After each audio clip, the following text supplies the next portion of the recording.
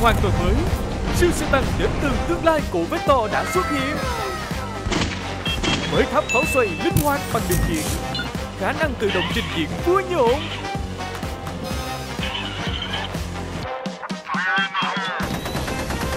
Thân xe xoay 360 độ cực ngầu Hệ thống đèn và âm thanh sống động y như thật Và đi kèm với túi hạt nở thú vị lắm nha.